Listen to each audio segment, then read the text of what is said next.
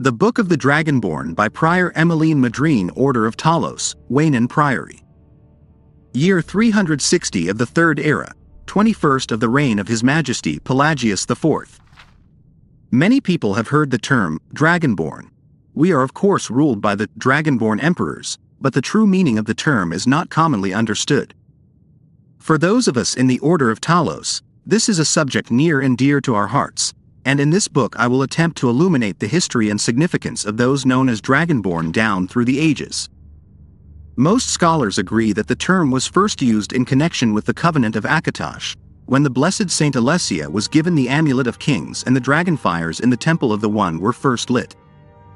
Akatosh, looking with pity upon the plight of men, drew precious blood from his own heart, and blessed Saint Alessia with this blood of dragons, and made a covenant that so long as Alessia's generations were true to the dragon blood, Akatosh would endeavor to seal tight the gates of oblivion, and to deny the armies of Daedra and undead to their enemies, the Daedra-loving Ayleids.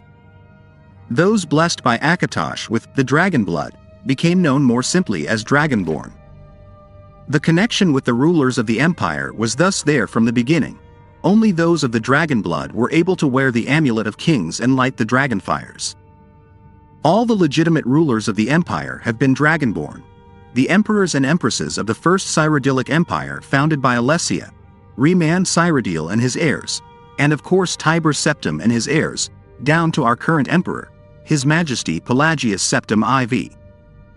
Because of this connection with the emperors, however, the other significance of the Dragonborn has been obscured and largely forgotten by all but scholars and those of us dedicated to the service of the blessed Talos, who was Tiber Septim. Very few realize that being dragonborn is not a simple matter of heredity.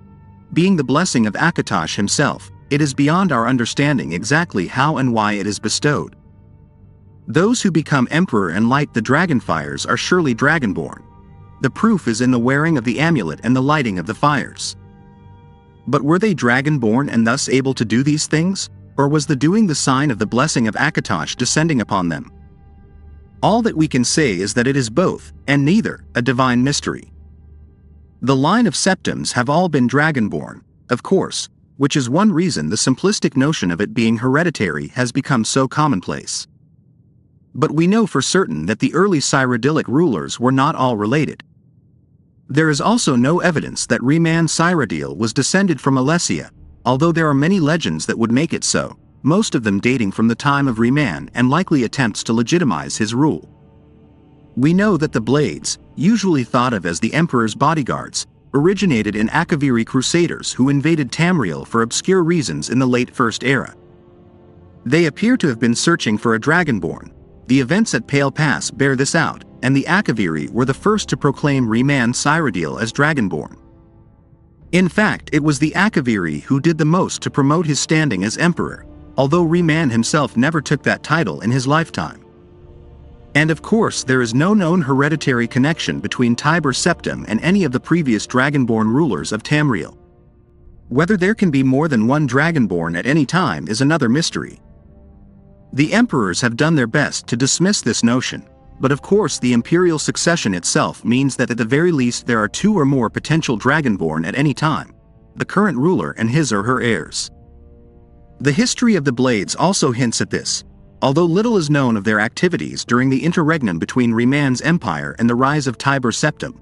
Many believe that the Blades continued to search out and guard those they believed were, or might be, Dragonborn during this time. Lastly, we come to the question of the true meaning of being Dragonborn. The connection with dragons is so obvious that it has almost been forgotten. In these days when dragons are a distant memory, we forget that in the early days being dragonborn meant having the dragon blood.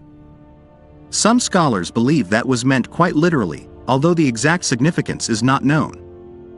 The Nords tell tales of dragonborn heroes who were great dragon slayers, able to steal the power of the dragons they killed. Indeed, it is well known that the Akaviri sought out and killed many dragons during their invasion, and there is some evidence that this continued after they became Reman Cyrodiil's Dragon Guard, again, the connection to dragons, the direct predecessor to the blades of today. I leave you with what is known as the prophecy of the Dragonborn. It often said to originate in an elder scroll, although it is sometimes also attributed to the ancient Akaviri. Many have attempted to decipher it, and many have also believed that its omens had been fulfilled and that the advent of the last dragonborn was at hand. I make no claims as an interpreter of prophecy, but it does suggest that the true significance of Akatosh's gift to mortalkind has yet to be fully understood.